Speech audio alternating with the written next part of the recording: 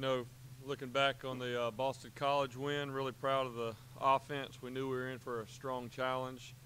Uh, by far the best defense that we have played all year. Uh, really pleased uh, with how the guys responded to a little bit of adversity there in the first half. Um, you know, we've got off to fast starts in a lot of the other games at home, and then we go out there uh, down seven to zero. Uh, it's good to see those guys in that situation come back and respond. And then at halftime, um, even though we'd moved the ball and put some points on the board, you know, just weren't quite connecting like we wanted to in the first half. And uh, we really challenged them in the second half, and the guys responded. Um, also, uh, looking back, once we went back to grade the tape, one thing I think that was impressive that we can really build on are the long drives that we had. I think the four uh, touchdown scoring drives were 75 yards, 80 yards, 98 yards, and 85 yards. So I think we averaged on the four scoring drives an 85 yard drive. And uh, against a defense of their caliber where they make you earn it uh, every play, that's something that I think we can really uh, build on and uh, was really good to see. Uh, can't say enough about the job Coach Caldwell and the offensive line did this week. Uh, they had a huge challenge with all the blitzes. It was really what your normal game week, what you have to prepare for from a blitz standpoint – uh, I would say that it was double than any other game that you prepare for. So that was a huge challenge. They did a great job. Also, Deshaun did a really good job of being able to identify it and flipping protections. You know, I think. Um, uh, you know, I think Eric Mac Lain, you know, he said at halftime that some of their guys on defense were getting frustrated because we were flipping the protection every time exactly where they were coming from. And so I think, uh, you know, a lot of that credit goes to Coach Caldwell, Coach Elliott, Coach Streeter, and then those those uh, offensive linemen up front, quarterbacks and backs, uh, taking some ownership and preparing for it because that's something that if you're not prepared, it'll show up in a hurry and, and can get ugly. Um, so really pleased with that. You know, um, they make it very difficult to run the football. Uh, obviously, averaging only giving up 43 yards in the, in the rushing game you know, so that was a challenge, but I did feel like we found enough uh, to, to keep them honest. and I think uh, Deshaun made a difference running the ball when those opportunities presented themselves and uh, really made a difference with his feet.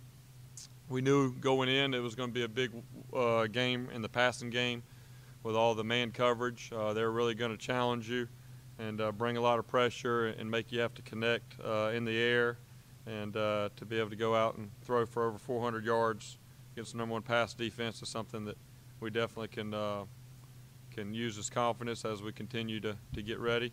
You know, looking at kind of the halfway point uh, from an offensive perspective, you know, we're, we're, excited because we don't feel like we've played our best game yet. We don't feel like we've played uh, up to our full potential yet as a group. But one thing that I think is really um, positive is you know, we've won some games by running the football when we needed to run the ball, and then we've won some games where we had to throw the ball and we were able to throw the ball and execute. And I think that's what you're looking for uh, offensively is you want to be able to do both of them well uh, when you have to do it. So I think we've shown that so far, and we're going to have to do that uh, as the competition continues to increase here uh, during the second half of the season. Uh, pleased with the wide receivers. You know, overall, probably the biggest thing I'm pleased with is uh, the depth and production that we're getting from all seven guys. And I, I say this week in and week out, you know, but I had seven guys that had at least 20 snaps. And uh, I've never had that as long as I've been here at Clemson coaching the wideouts. Um, you know, a couple things what that allows us to do uh, during the game, it allows our guys to stay fresh. You look at Artavis Scott's uh, touchdown there late in the game you know, uh, uh, that corner that was playing against him, that was his 63rd snap of the game because that corner played every snap. And for Artavis, that was his 39, 39th snap of the game.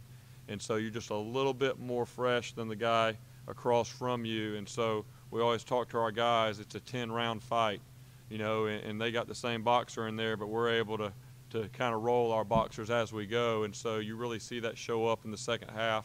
Um, so really pleased with that. And also it allows our guys to, to stay fresh, you know, for the long run that uh, we need to make here at the end of the year. Um, but in order to do that, you've got to be able to have guys that you can count on that can go out there and execute.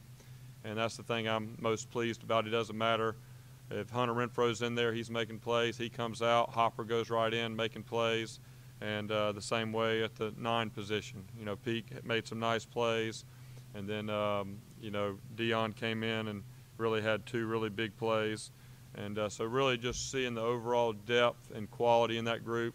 You know, that's really what we said. You know, whenever uh, we lost Mike for the year, is you know we, we might not have the guy in the room that's going to go and replace him with 1,500 yards this season, but we got more depth than we've ever had. So if if we can get a little bit more from everybody in the room, we can make up for those yards and touchdowns. And uh, so far, we're doing that. Um, you know, the long pass to Deon there late in the game, really pleased. That, that was actually a check that Deshaun did on his own. Uh, we had an initial call, and uh, the defense they came out with, that call wasn't uh, going to be the best call, so Deshaun checks it. And uh, we had Deon in the slot where he's not normally in the slot, but for the one play that we called, he kind of knew that play. So Deshaun looks to him, gives him a check, and I'm on the sidelines going, okay, we're about to find out if he's ready for the big show or not on third and long. And he executes it and goes all the way down. So those are those growth opportunities that as a coach you look for in games to be able to see if guys can do that. So really uh, pleased with his progress along with the other guys. Uh, Miami, big challenge. Uh, it doesn't take uh, very long watching the video. The first thing that uh, that really stands out is the team speed. I mean, those guys can run uh, very fast, athletic, long. Um, you know, I think it'll be the best secondary by far uh, that we will have played up to this point this year. Um, they remind me a lot of the guys that we have, uh, Mackensie and Jayron and those guys. That's the type of ability those guys in the back end have. Uh, you know, they're athletic up front. Their their two ends are guys that uh, got to get your hands on.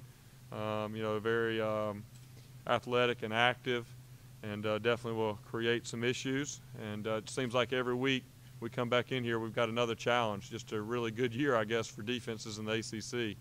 And uh, so it'll be another challenge, but I think our guys are looking forward to it. We've had a lot of fun at home, but in order to do the things we want to be able to do, we've got to go on the road and win on the road. And uh, this will be a big challenge.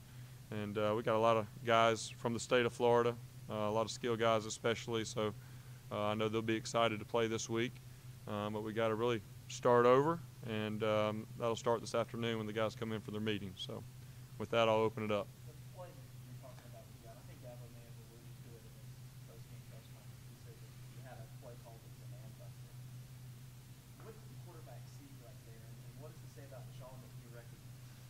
Well, to be completely honest, when we lined up, there was a lot of discussion because it was third and long, and I think maybe we were up 17, and, and Deshaun had just taken a shot the play before, and so there was discussion: do we just run the draw, or you know? And, and Deshaun actually came over and said he wanted to run this play, the empty play, where we were going to have a deep pass concept, and uh, and we had an answer if it was too high, um, but Deshaun, you know, he looked over to me on the sideline and gave me the signal for the check, and that check we don't typically do out of empty. It's more of a two by two check.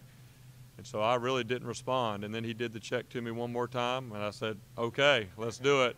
And he got Deon's attention. He did it, and I just watched it happen. So, you know, we we haven't done that in practice before, but that just shows Deshaun's second year in the offense, understanding, and um, and then also Deon. I, mean, I, I think that's the first time Deon's ever run a seven cut, which he ran right there because – he's in the boundary. He's not typically a slot receiver. And uh, so whenever he gave Deon the signal, that was a big moment for me that, okay, we're going to find out if this guy's ready or not. And not only did he run the route, he did a great job, got his depth, executed it uh, very well, and uh, just wish he could have got in down there. Uh, got tight there at the uh, goal line, but I know our guys will give him a hard time. But that was that was uh, probably the that, and then um, Artavis's touchdown, you know, was a, a, really big deal because Artavis was not the primary target. He actually was the fourth option in a, in a regular read for that play. Um, but, you know, we told our guys all week long that if you get press coverage, it doesn't matter if you're the first read or the last read, you better run to win. And, uh, and Tay ran to win, and, you know, Deshaun felt very comfortable that, that Tay was going to go win on that matchup. So he, forgot all of his regular rules and said, I'm going to take the matchup, which he's allowed to do.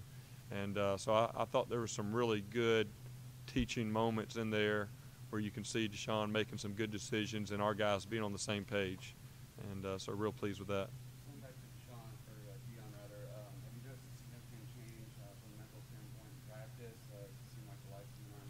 Yeah, I think uh, he's getting better uh, each week, and uh, you know, and he's a little bit of a gamer. He's one of those guys, and I've coached a few of those guys before here, that maybe play better than the games than they do in practice. And uh, but he, he he's been getting better each week. I think for him, you know, he, he had a slant also in the game where he went one step th- instead of three steps, and so the timing's off a little bit. You know, he, he jumped off sides one time, probably had another one on one of his catches that he might have been a little quick. It was close, and so just those little things for a freshman, you know, are the things that he's got to continue to work on. Um, but you know, I, I really feel, you know, and, and Ray Ray really, just the way the game went and the times he was in there, that you know he didn't get the opportunities maybe that uh, we would like for him to get. But I think both of those guys are getting better as the season goes, and uh, that's really kind of you know I think we've got four freshman wideouts, and only one of them played wideout in high school. You know, Hunter Renfrow played quarterback, Ray Ray played running back, and Deon played played quarterback. You know, Trevion Trevion's the only one that played wideout. So, you know, we knew that there was going to be kind of some development, and the good news for them is it was not a year where they had to go out and be the guy day one, and we had to go through some kind of growing pains. They've been able to to be able to play and get a lot of key experience, uh, but be able to kind of roll in there and not have to be the primary guy quite yet. But I think both of them are progressing very well, and um, I think we'll continue to, to make big plays and be a big part of it here as we go the second half.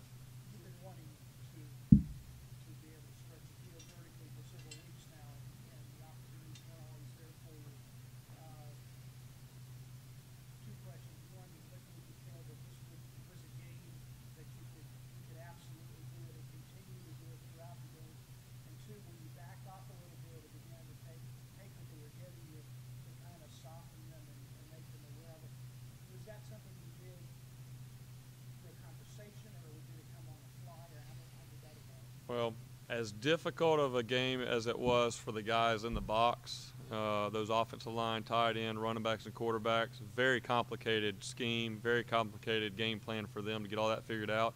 As complicated as that was, it was very simple and easy for our guys on the outside because they basically played two coverages.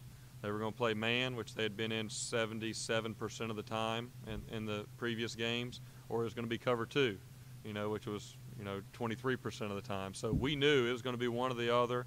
There wasn't a lot of disguising. And, you know, their deal is, hey, we're going to get in, in, in your face and challenge you. And in order to do that, to be able to hit those deep balls, you got to have execution up front. They're counting on getting there and rushing the quarterback, which they've done a lot. And then also execution on the throw and then execution on the release. A lot of things have to happen to be able to hit those balls. But I think the confidence we had in that is because that's what we see against our defense every day, year round. You know, they play press. We, we joke that we have to wait till the season before we can see a little bit of zone coverage because in practice that's all we get is man coverage, and, and we're going against some talented guys. And uh, so we were excited about uh, the challenge, but also going into that game, you know, when you're playing a lot of man coverage, we had to have multiple answers for man. You didn't want to base your whole game plan of we're just going to take shots if we hit them, great, we win. If we don't, then I guess we'll just lose. So we had multiple layers of uh, ideas for our man. So obviously the shots were a big piece. The next were the intermediate, the slants, and um, you know having some of those routes, and then also we wanted to get the ball out to the back and have the receivers blocking some crack blocks and get the ball out there. And so we had kind of three different answers uh, for the man coverage, and we had a couple answers for the zone. Um, so we knew, and we practiced it all week long. Uh, you know, our scout team gave us a great look, and um, it was exactly what we expected. We were just off just a little bit in the first half, and you know, I think we encouraged them a little bit to stay in the man coverage in the second half because we didn't quite connect like we wanted to in the first half. But uh, we knew uh, that we eventually would connect on those, and so we just had to keep faith in it, stay consistent, and uh, we're able to hit it. But I, I do think having a variety of ways to beat man coverage uh, was a key. And you know, we also had the the uh, little crossing route to Leggett in there, and then you know getting Leggett involved down the goal, and just a lot of different ideas for that man coverage. Um, you know that we'll be able to carry with us as we go. Most people are going to play that we play are going to play mostly zone, then get to third down, and then they're bringing the pressure and going man coverage. Whereas with Boston College, it was like every down was third down, and uh, so I think we'll be able to uh, carry over a lot of the stuff we were doing here uh, through the rest of the year, especially on third down. Jeff, these guys, you guys have built up a little comfort level here at home this first half of the Yeah. season. How prepared do you think they are for these next couple of weeks where they're going to be out of that comfort zone? Yeah, obviously Louisville, we got a little bit, little taste of it, and uh, definitely didn't play our best game. But I don't think it was a situation where we came home and said, "Man, our guys are scared to death to play on the road." But you know, and that's what Coach Swinney's message to the team will be today. Hey, to accomplish the things that we want to accomplish out in front of us, we got to we got to play well on the road. That's great. We just set a record for the most wins at home ever, consecutive wins at home with 14. But now we've got to go win on the road, and um, so I think that'll be kind of that next challenge. You're always looking, especially with a team that's that's winning and playing well. You're always, as a coach, looking for something to kind of challenge them. So I think that'll be the big challenge this week is can we go out and execute on the road uh, against a good football team, and uh, because we're going to have, you know, the very next week at NC State, you know, you- you're going to have several more of those as we go. But that'll be a big challenge. But you know, do I do I am I concerned about it? Not really, uh, because you know I think Coach Swinney and our coaches have done done a really good job of kind of uh, building into our guys that it doesn't matter where we play or who we're playing. It's all about us and it's about our execution. The external factors are not going to have any control, and really kind of building that mentality. I think our guys have bought into that, and uh, so we'll continue to stress that this week. Has there been a rush to young people? Uh, Listen to some of the national guys on TV and, uh, the first four or four games, there's been, it seems to me a rush to young people to turn to the other, not the transition coordinator and been su- fully successful. Do do you feel that you guys have have answered all the, that, you know, Chad's now at SMU, it's now your offense, and you guys are capable Yeah. capable of doing the job? To be completely honest, I don't think we've thought about it at all.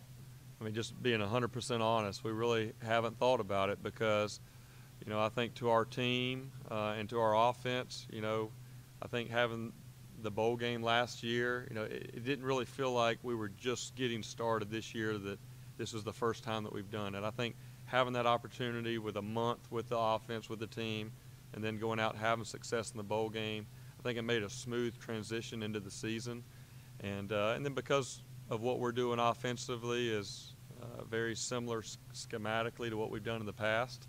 You know, I think Tony and I have been uh, very out in front that hey, this is Clemson's offense. You know, this isn't about me. This isn't about Tony. This isn't about one person that's calling all the show. You know, calling the show and and uh, kind of has the puppets on the string. You know, this is really about our guys and their execution, and that's really where our focus has been. Um, so I, you know, I, I don't think that uh, maybe on the outside that's a you know good storyline and something I think that would be natural for people to continue to look at. But I think within our walls, our, our players and, and our staff feel uh, very comfortable and confident uh, with what we're doing.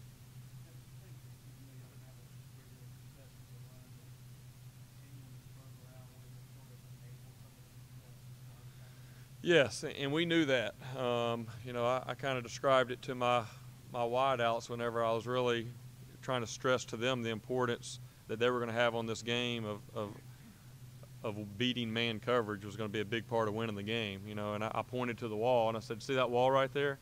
That's what the running backs are going to be running into all night. They've got four D linemen and they got two linebackers, and all they do is run right through the gaps, and they got a wall.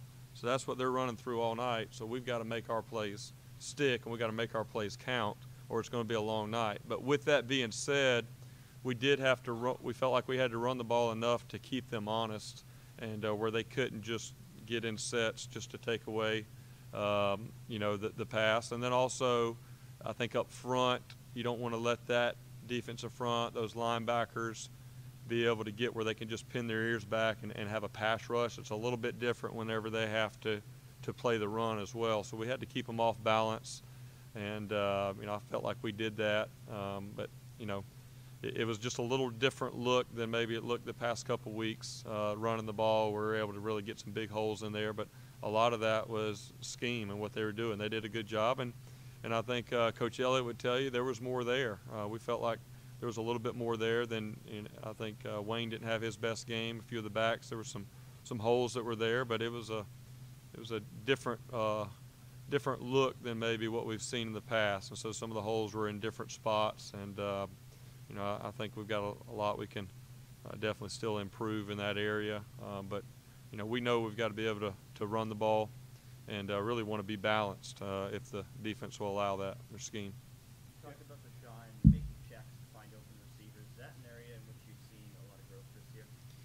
Yeah, you know, I think last year, uh, like I've said before, he, he was really learning what he's doing and what's going on. I think this year he understands the offense completely, and uh, you know, we give him a, a lot of freedom. I mean, obviously, we're playing fast and and doing a lot of things, so we're not a true check team that gets up there every play and is trying to check and, and get us out of one play and into another play. But if he sees things from time to time, he has freedom to, to make those checks. And uh, so we have a lot of confidence, but a lot of that comes from the meeting room, uh, from Brandon Streeter uh, and, and the quarterbacks in the meeting room pointing things out. You know, Deshaun's a great note taker. I mean, he's always going back through his notes, and he takes that very serious. So, you know, it's it's like having a coach on the field, um, being able to make those checks. Sometimes you, you see a lot of school, and, and we'll do it too, but but offenses they make the check from the sideline. So we'll see something in the box. All right, we want to check. We'll go check, check. We'll, we'll call the play. Well, now what defenses are doing, when you check, they check.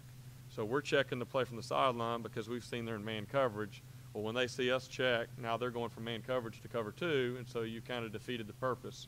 So it's put even more importance on your quarterback being able to check the play on his own without everybody looking to the sideline.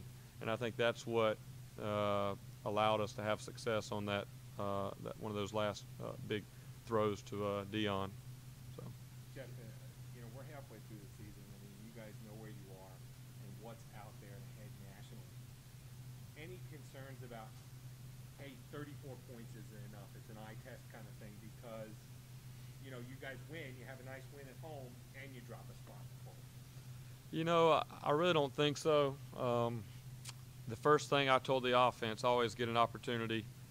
Tony and I do a good job of kind of splitting our opportunities. Who talks to the offense win, and so Tony's up in the box before the game, so I kind of get that five minutes before Coach Swinney calls the whole team up. And the first thing I told him Saturday is, our number one goal tonight is to get our sixth win. That's our number one goal. It's probably not going to look pretty because of what they're doing on defense. We're going to have some adversity that we're going to have to overcome, but that's our number one goal. Forget all the rest of it. You know, that's great, all the stuff we talk about after the game with three consecutive games, 200 yards rushing, and this and that.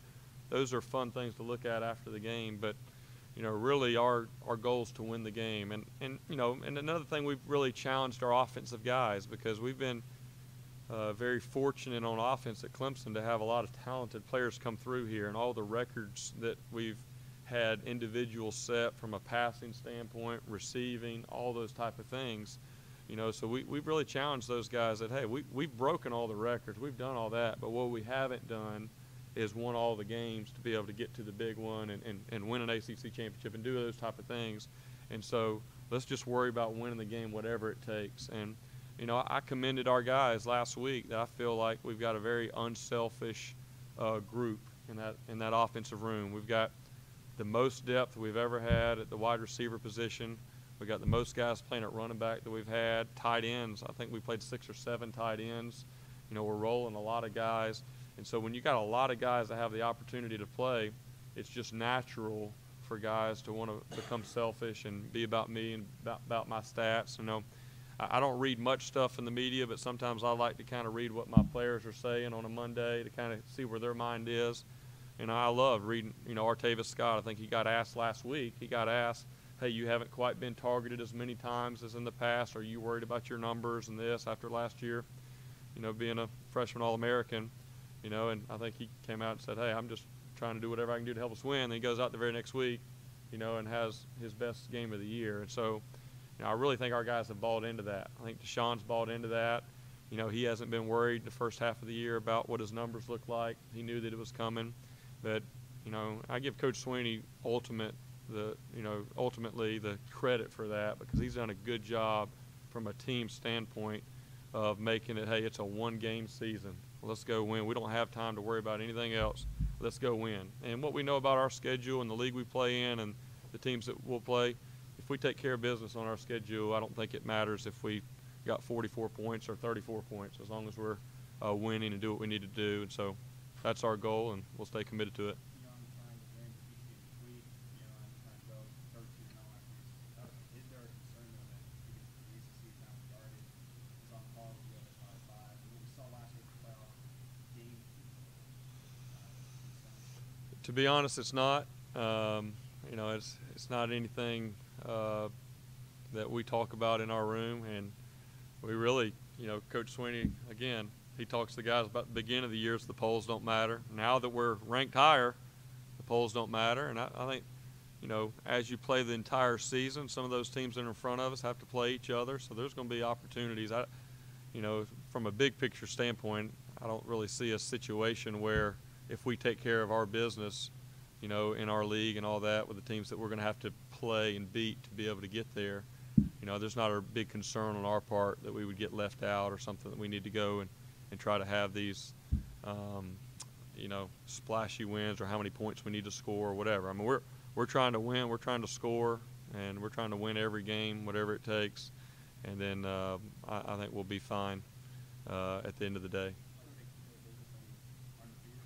Yeah, I mean that's our goal is to be undefeated. And obviously, if, if if you lose a game, then you do put yourself, you know, out there and and and other people. But you know, if we continue to take each game one at a time, continue to win, then you know I feel like we control the cards for our destiny, and that's really what we're focused on now. Coach, you alluded to the Florida guys, particularly Deon and Ray Ray, and uh, do you ever feel that can be a detriment if they get too excited, try to do too much, and if so, how do you temper that optimism so it does not impact us? But Yeah, I think they have the same thing on defense with Jayron and Mackensie. And, you know, the number one thing is you don't want to play the game during the week. Uh, they're going to be fired up. They're going to go out there and go full speed. And you just can't play the game during the week. And then also pregame, you know, our, our guys will get a little too excited. I think DJ Shea's been a good addition to our uh, pregame, but our guys will get a little excited during pregame. I have to kind of remind them that, you know, we are going to play four quarters today, and you're going to need a little bit of that energy. So let's cut it down to two dance moves instead of four, uh, if we can get there. So we made progress a little bit, but um, but yeah, I mean that's the big thing. It's just and also, you know, going on the road and you got a quick turnaround. You know, all those type of things. There'll be a little bit of coaching that goes in this week, especially those young guys. And you know, our goal is for them to be at their peak come 12 o'clock Saturday.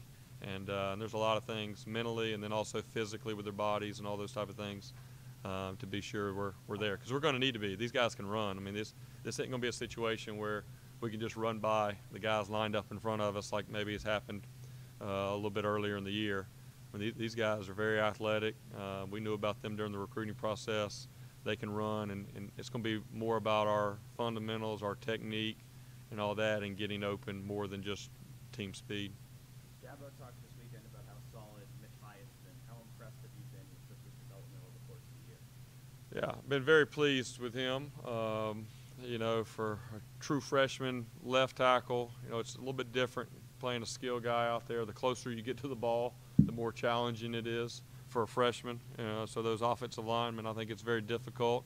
Uh, you know, Mitch, I think he, he had one or two plays he wishes he could take back Saturday, but really, it's the first time all year that that's even happened. I mean, so to go halfway through the season and to be able to play the way he's played, and uh, you know, I, I say all the time the best part about Mitch is we haven't noticed him. You know, and for an offensive lineman, that's a good thing when you don't notice them, because usually when you notice them, it's because they've given up a sack or a guy ran by them. But um, you know, he's he's been a big part of, of what we do, and really all those guys up front. I mean, it's it's hard to believe. You know, you got five new offensive linemen up there that are going out there and, and playing as well as I believe we've played up front in the last four years. So that's a testament to Coach Caldwell and to that, that new group of offensive linemen going in there and, and uh, executing, doing what they've done. Eric Mac Lain's been a great leader. Y'all see him a good bit. Y'all know what, what we have in him. Um, but those, get, those guys, I mean, they, they take a lot of ownership in that room where maybe in the past some of our best offensive linemen maybe that just wasn't in their, um, you know, part, part of who they were. But these guys take a lot of ownership. I know when we presented the challenge they were going to have last week with Boston College, I mean, them them guys took it serious. They took it among themselves, had meetings on their own, volunteer meetings where Mac Lain and those guys were doing stuff. So I, I really like what we have in that room, and, and Mitch is doing great and only going to get better. What's your evaluation of uh, Deshaun as a, as a ball thrower? And Does more because him with the just trying to get it, letting guys run under it? Yeah, well, I think Deshaun, he said it after the game. He, he missed a few of the throws. Um, you know, it's kind of what I was talking about. One of the advantages that we have is that we've got seven receivers playing, but the disadvantage to that is everybody's a little bit different. Everybody's release takes a little bit different timing. Um, then you got guys, you know, their speed down the field is a little bit different. And so there's a little bit of that that goes on, but, you know, we understand that. We still think it's an advantage to play a lot of guys. And so that's part of it. Uh, but, you know, also, you know, he, he had a lot coming at him. You know, he, he knew what he had had coming to him. Kind of, you know, if you go back to the, the bowl game where Cole Stoudt stood in there and made the great throw to Germone Hopper and got hit in the mouth, and that was a big check on a house blitz that you only get once or twice a game. I mean, that's pretty much what we were getting every play. And uh, so it was a little different being. So I think early on, you know, making sure that our protection was sorted out right, getting the ball to the right place, you know, and, and that's what it takes. I mean, that's why they play so much man coverage and do what they do, and why they ha- they're having the success they're having on defense is because they make you be perfect. They make you protect it, have time, make the perfect throw, make the perfect rele- release, and be in the right spot. And uh, you know, I feel like Deshaun. You know, we felt like uh, Deshaun could make those throws and do that where maybe some of the we felt like Deshaun could make those throws and, and put us in that position. But you know, we weren't we weren't overly concerned. Obviously, we were disappointed. You know, we went in there at halftime and felt like we didn't complete a pass, and Tim hands me the stat sheet. We had 191 yards passing in the first half. You know, and I went, wow, okay. If we start hitting these, this thing will really take off. And uh, you know, it's just you know, like a, a great player, Michael Jordan misses some shots. You're going to keep passing to him, keep letting him take those shots because he's to hit them. And so, you know, we, we've, uh, you know, we've seen it in practice, and we, we knew he's just going to relax. And it was good to see him come back and respond the way he did uh, the second half and put the ball where it, where it needs to be. And uh, that's just process of being a quarterback. Jack, was that the same, the same theory on Deshaun's interception? Just they were forcing him to be perfect and Yeah, I think they're really the only one that was on